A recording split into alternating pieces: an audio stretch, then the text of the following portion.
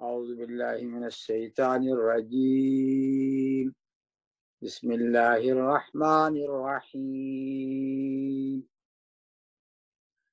قل يا أيها الكافرون لا أعبد ما تعبدون ولا أنتم عابدون ما أعبد.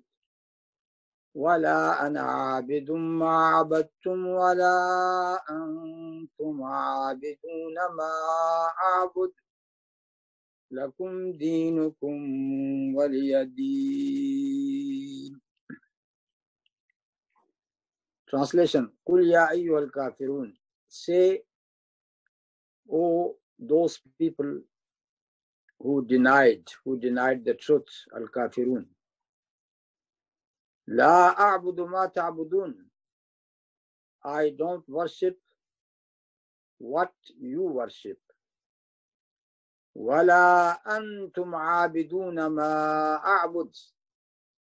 Nor you worship what I worship. ولا أنا عابد ما عبدتم nor I worship what you have been worshipping. ولا أنتم عابدون ما أعبد nor you are going to worship what I worship. لكم دينكم ولي دين For you is your deen and for me is my deen. So this surah, which is uh, known as Surah Al-Kafirun, according to Revelation, it was uh, 18th surah, which was revealed by Ara'ayta alladhi yukadhibu bid-din, that Surah Al-Ma'un, revealed after that Surah Al-Kafirun. It begins with Qul, and we know that uh, there are four surah which begins with Qul. And uh, this is the fourth one which uh, we are going to take today. قل أعوذ برب الناس قل أعوذ برب الفلق قل هو الله أحد قل يا أيها الكافرون And the fifth surah which begins with قل is قل أوهي إلي أنه استمع نفر من الجن فقالوا إنا سمعنا قرآنا وعجبا That is Surah Al-Jinn. It also begins with Qul. So there are five surah beginning with Qul. But the word Qul within the surah has been used many times in other surah. Big, uh, in the in the two things about uh, the surah itself, in one hadith of the Prophet wasallam, it is equal to one fourth of Quran. One fourth of Quran. About Surah Al-Ikhlas, Qul Allahu Ahad, it is equal to one third of Al Quran. One third of Al Quran, how? In, uh, in, in what way? Because uh, the main three topics of Quran are Tawheed, oneness of Allah, so that is Surah Al-Ikhlas, one third. And then Ar-Risala, the prophethood, and uh, then belief in the hereafter. So this is how Surah Al-Ikhlas is one third of Al-Quran. And uh, here is absolvement from kufr, saying that I got nothing to do with kufr. I absolve myself from your ways. So this is how, this is the fourth, fourth type of uh, subjects. So this is how we can say it is one fourth of Al-Quran, which is a Meccan surah. And our Prophet ﷺ also said, also emphasized to read this surah in the two rak'ah before Fajr prayer. In the first rak'ah, as you know, that you have to read uh, Al-Kafirun, and the second rak'ah, you have to read Surah Al-Ikhlas, Qul Huwallahu Ahad. In the very same way, the two rak'ah after Maghrib, these two surahs should be read. And if you go for tawaf, uh, yani for Umrah and Hajj, and you do your tawaf, after tawaf, there are two rak'ah to be said around or near Maqam Ibrahim, the station of Ibrahim, two rak'ah. Again, after Surah Al-Fatiha, in first rak'ah, Surah Al-Kafirun, in the second rak'ah, Surah Al-Ikhlas. So this is, uh, and this is how they should be read. And there is another hadith which says that uh, when you go to your bed, our Prophet ﷺ said, فَقْرَأْ قُلْ يَا أَيُّهَا الْكَافِرُونَ Read this surah, meaning before you go to the bed. Until you come to the end of the surah, فَإِنَّهَا بَرَاءَةٌ مِنَ الشِّرْكِ Because it is an absolvement from, from shirk. And uh, it is also said, كَانَ رَسُولُ اللَّهِ صَلَّى اللَّهُ عَلَيْهِ وسلم يَفْعَلُهُ The Prophet used to do the same. Now here, uh, there is something called Sababul Nuzul. Why this surah was revealed? Sabab al-Nuzul, the background of this surah. The background is, according to uh, one hadith which is uh, given by Ibn Ishaq and in the books of Sirah, has given this uh, tradition that Prophet ﷺ was in his tawaf. Four kuffar people, meaning non-Muslims of Mecca from Quraysh, they confronted him. One was Al-Aswad bin Abdul Muttalib. The second was Al-Walid ibn Mughira. The third one was Umayyah bin Khalaf. And the fourth one was Al-As ibn Wa'il and they proposed to the Prophet. They said to him, Why not you worship our gods for one year, and we are going to worship your God for one year? So, in this way, if your God is a good one, then we will have a share of that goodness. And if there is something good in our gods, you are going to have a a proportion of that goodness from them as well. So they proposed this uh, compromise to the Prophet. So at that time, this surah was revealed to our Prophet, which starts with saying, Kul ya ayyuhal kafirun la a'budu ma ta'budun. O kuffar, I am not going to worship what you worship. So that is uh, the background or sabab nuzul. Now here, because in this surah, this uh, these words are repeated, la abudu ma ta'budun, and then wala antum abiduna ma'abud. That is repeated twice. And in between, wala ana abidum ma'abattum. So some people would say, oh, it is a repetition, repetition of the same thing. I don't worship, but you worship. You don't worship, but I worship. I don't worship, but you worship. What is this repetition? Quran should not have uh, this type of repetition. So in answer to that, we have to say, we have to understand each ayah. Each ayah among these uh, one, two, three, four ayah before the last ayah, which is the Dinukum Waliyadin, these four ayah they are giving certain meanings. First of all, this surah begins with Qul. And we have already said last time, it shows that it is a revelation from Allah subhanahu wa ta'ala. It is not a dictation from the Prophet If the Prophet was making this surah by himself, why should he say Qul Qul, why did, why did he say Qul? It means that someone else is saying to, to him, O Muhammad, say these words. Qul, Ya ayyuhal kafirun. So this word kafirun is coming from kafara. Three Arabic letters, kafara. Kafara means satara.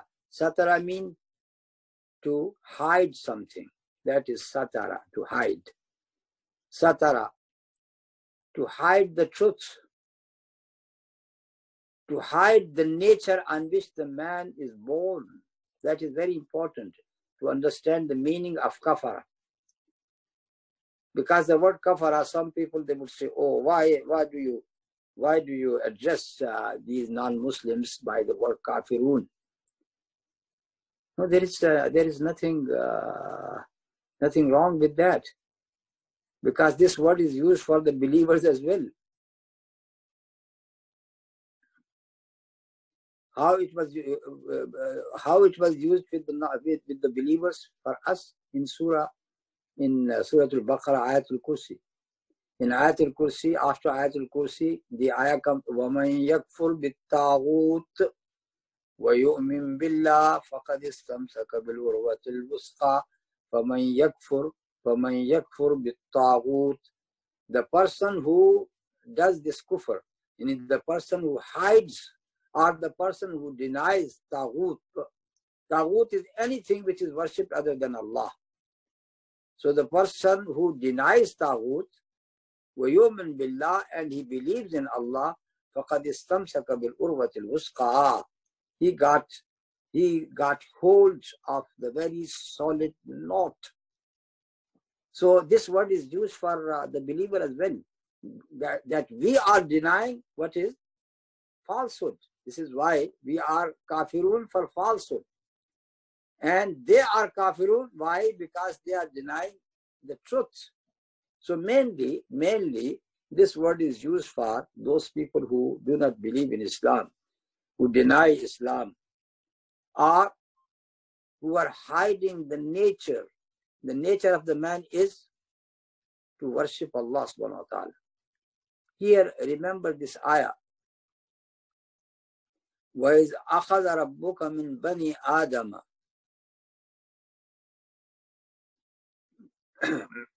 وإذ أخذ ربك من بني آدم من ظهورهم ذريتهم وأشهدهم على أنفسهم ألست بربكم قالوا بلى شهدنا Allah subhanahu wa ta'ala when he created Adam alayhi salam from the back of the children of Adam because from the children of Adam, all the humanity has come. He has taken all the souls from the back of the children of Adam. And then he asked them one question. Alastu rabbikum? Am I not your Lord? Kalu bala. They said, yes, you are. Of course you are our Lord. Shahidna, we have given this testimony. And then the rest of ayah says that why we are reminding you of this pledge which we have taken even before your birth, when you were just uh, particles, particles, yani souls in particles. At that time, you have given this pledge that, that Allah is our Lord. And we are reminding you this pledge. Why? So on the day of judgment, you should not say, Oh Allah subhanahu wa ta'ala, we were not aware of that. You might say, No, we were not the one who did shirk. They were our children and children and our progeny who have committed shirk. So why you are uh, punishing us because of them? So Allah subhanahu wa ta'ala reminded us, oh man, you have given this pledge to Allah right long ago, thousand, thousand years ago, even before uh, all these souls come to this world You have given this pledge to me. Alastu rabbikum. I asked you this question. Am I not your Lord? And you said, قالوا بلى شهدنا أن تقولوا يوم القيامة إنا كنا عن هذا غافلين أو تقولوا إنما أشرك آباؤنا من قبل وكنا ذرية من بعدهم أفتهلكنا بما فعل المبتلون Now this ayah of uh, Surah Al-Araf that has given this pledge the pledge alastu bi rabbikum here someone can ask this question why Allah subhanahu wa ta'ala is reminding us of something which we did not witness, we don't remember. We don't remember. Who, who remembers that pledge? No one. So why Allah is reminding us of that pledge? Our answer is there are so many things which happen to us. Nobody can deny that. But we don't remember them. Do you remember your early days after your birth? When you were still an infant? Do you remember those days? No, nobody can remember. At the most, at the most, if you remember something when you were three years old. Before that, you can't remember anything. You don't remember anything. Can you say to your mom, to your mother, Mother, I don't remember that you gave birth to me. I don't remember that you suckled me, you nourished me, so I don't recognize you. I don't recognize anything, any favor that you have shown to me. Can you do that? No, you can't. You can't. Because you can't be here without your mother. This is the reality. This is your mother who took care of you. So there are things which happen to us. We don't remember them. But when we were uh, uh, told about that, we don't deny them. We can't deny them at all because they were real things which happened to us. So, in the very same way, this pledge was taken by us or given by us. We don't remember it. So, Allah subhanahu wa ta'ala reminded us, man, you have said, Alastu bi rabbikum qalu bala. You have said, yes, you are our Lord. So, it means that humanity starts with the recognition of Allah subhanahu wa ta'ala. Humanity started with belief in Allah subhanahu wa ta'ala. Our nature is, in our nature is thought about Allah subhanahu wa ta'ala. Shirk came later. Shirk is something which came long after that. When people started looking at uh, the different phenomena of nature happening to them, storms hitting them, earthquakes, so many bad things which are happening to them. So people started creating gods, believing in deities. This deity is for power, this deity is for money, this deity is for uh, health, this deity is for that. In this way, they have created so many deities, so many gods. So the shirk is a later introduction into the matter of religion. Our fitrah, this is why our Prophet ﷺ has said, كل مولود يولد على الفطرة. Every child is born upon the nature, and this is the nature. Nature of believing in Allah subhanahu wa ta'ala. Believing in one God, and then the hadith says it is uh, the parents of that child. If they are Christian, they will turn him into a Christian. If they are Jews, they will turn him into a Jew. If they are mushrikeen polytheists, they will turn him into a mushrik. This is because of the influence of the society, of the parents, of the people around him, that the man turned into a different religion. But its nature is, its origin is belief in Allah subhanahu wa ta'ala. So the word al-kafirun, the person who is hiding the truth, and more than that, then he denies the truth. So kufr, opposite is iman. But there is a kufr which is lesser than that. Kufr, opposite is shukr. So kufr means thankfulness, Kufr means unthankfulness and shukr means thankfulness. So when you are thankful, imma shakiran wa imma kafura, the man is either shakir, means he is he he thanks Allah subhanahu wa ta'ala, or kafura, or he becomes unthankful. So if he is thankful, then he becomes a believer. And if he is unthankful, sometime he comes to, to the level of kufr, he becomes a kafir. By the end of the lesson, we are going to discuss another thing, which is that the word kufr is a, a common word and it is applicable to three groups.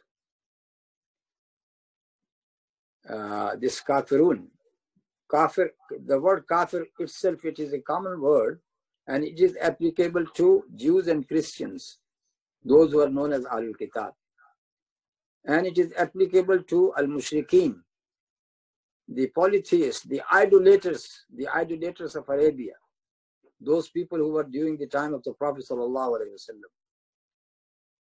So it covers uh, Ahlul Kitab and Mushrikeen. And if you take Ahlul Kitab as uh, Jews and Christians, then they become three categories Jews, Christians, and Mushrikeen idolaters. And then there is a difference between uh, the rulings about them. So the ruling about Mushrikeen is different than the ruling about Ahlul Kitab, who are the Jews and the Christians.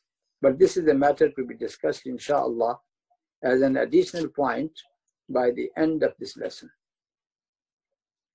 Now coming back to the surah, you al kafirun, say, O people who have done kufr, La a'budu ma ta'budun. Now these four men from Quraysh, they were uh, offering the Prophet the compromise. You worship our Lord for one year and we worship your, your Lord for one year. So the answer comes, La a'budu ma ta'budun. La a'budu ma ta'budun. I am not going to worship what you are worshipping. Here, just see that uh, La a'budu, a'budu is a, is a tense. Present tense. Ta'budun, also present tense. In Arabic, the present tense is called mudari' and it covers both present times and future times. La a'budu ma ta'budun. I don't worship or I am not going to worship what you worship. So you have to take it in a future tense. Their compromise was that you are going to worship our, our gods. So this first ayah deny, completely negates, no, I am not going to worship what you are worshipping. La a'budu So this is a denial of worshipping their gods in future. So this is how this ayah got different meanings from the next ayah. The next ayah says, وَلَا أَنْتُمْ عَابِدُونَ مَا أَعْبُدُ nor you going to worship what I worship. وَلَا أَنْتُمْ عَابِدُونَ مَا عَابِدُ Now this word abid, it is the plural of uh, is the plural of abid. It is noun, ism. In the first ayah, it was uh, uh, a present tense, la a'budu. And here, wala antum abiduna. And you are not worshipping. This is a noun. What is the difference between noun and a verb? Noun is something which, which is uh, solid. And uh, the verb, which is something which is moving, which got some movement, if, when you say about someone that uh, he is he is alim, he is a knowledgeable person, that is a noun. So this alim is something which is always with him. Even when he is sleeping, he is still an alim.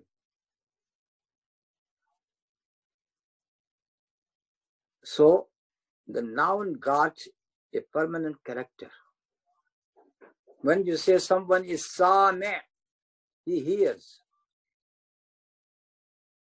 Though he might not be hearing now, he might be sleeping, but this character of hearing, listening is always with him. Unlike when you say ana Asmao, I hear, that is now. Ana asma, I am hearing now. So it is something which is which is at that time when you are speaking. So when uh, Allah subhanahu said, Wala antum abiduna ma a'bud, and you are not, you are not worshipping, and you are not worshipping ma abud, what I worship. So it means this word is negating completely that you people have offered me to worship your gods and you are going to worship my God. So here there is a negation. Wala antum abiduna. Something which is going to be like this. You will not be worshipping what I worship at all.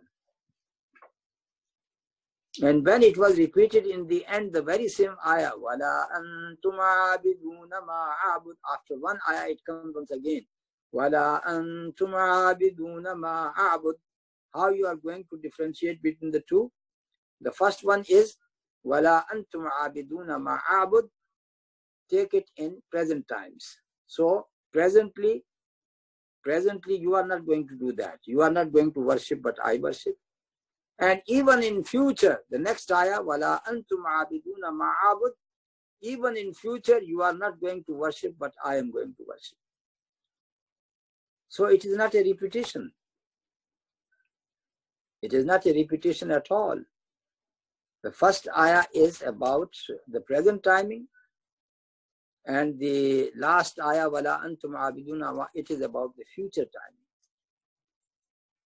And it is a great prophecy of the Prophet ﷺ that these four people who gave uh, this idea of compromise to the Prophet ﷺ, did they believe? None of them, none of them. Al-Aswad bin Abdul Muttalib, Walid ibn Mughira, Umayyah ibn Khalaf, Aas ibn Wa'il, not even a single one of them became Muslim. So it means what the Prophet ﷺ has said through this ayah came true. He said, now you are not going to worship what I worship, and even in future you are not going to worship what I worship. Once again, see the difference between the meaning of the very same ayah but the meanings are different. Ayah is the same, the words are the same, but the meaning are different.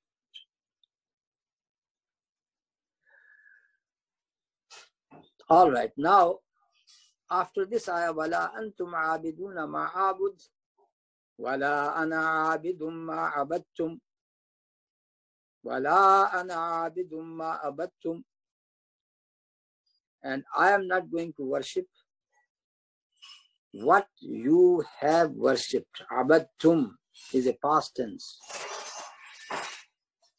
Because these people, they were known to be worshipping so many idols, so many idols for a long time. Look at uh, the time between Sayyidina Ibrahim salam, who established Al-Kaaba in Makkah, and then the timing of the Prophet sallallahu alaihi wasallam, the difference of 2000 years 2000 years and the arab peoples uh, they have changed the religion of islam and they started worshipping the idols even they brought 360 idols in Makkah, in Al-Kaaba, around Al-Kaaba. Because that was a long history of them to worshipping the idols. This is why here is wala ana abidum ma'abattum. I am not worshipping. And that is again abidun is ism is noun. And that is something uh, now established that I am not worshipping at all. Ma'abattum what you have been worshipping for such a for such a long time. In the end of Surah Az-Zumar, this ayah, again, a similar ayah. قُلْ أَفَغَيْرَ اللَّهِ تَأْمُرُونِي أَعْبُدُ أَيُّهَا الْجَاهِلُونَ قُلْ أَفَغَيْرَ اللَّهِ تَأْمُرُونِي أَعْبُدُ أَيُّهَا الْجَاهِلُونَ There, Allah subhanahu wa ta'ala addressed them as jahil. You jahil people, you ignorant people. Say, أَفَغَيْرَ اللَّهِ تَأْمُرُونِي أَعْبُدُ do you want me to worship other than Allah subhanahu wa ta'ala? أيها الجاهلون O jahil people. ولقد أوحي إليك وإلى الذين من قبلك لئن أشركت ليحبطن عملك ولتكونن من الخاسرين and it has been it has been revealed to you and to all the prophets before you any person who commits shirk who commits shirk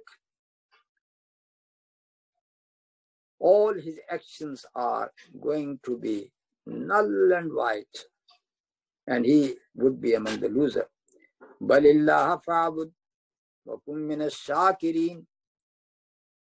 worship Allah and become among shakirin, those people who are thankful.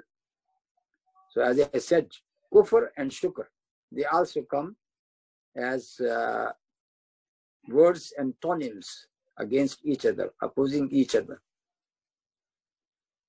If you are thankful to Allah, you are a believer. If you are unthankful to Allah, you are a kafir. وَلَا أَنْتُمْ عَابِدُونَ مَا عَابُدْ And I have uh, explained to you that why this ayah has been repeated. The first one, وَلَا أَنْتُمْ عَابِدُونَ مَا عَابُدْ That was about the present timing. And this one about the future. So our Prophet ﷺ was told to say, I'm not going to worship your idols now. I'm not going to worship them in the future as well.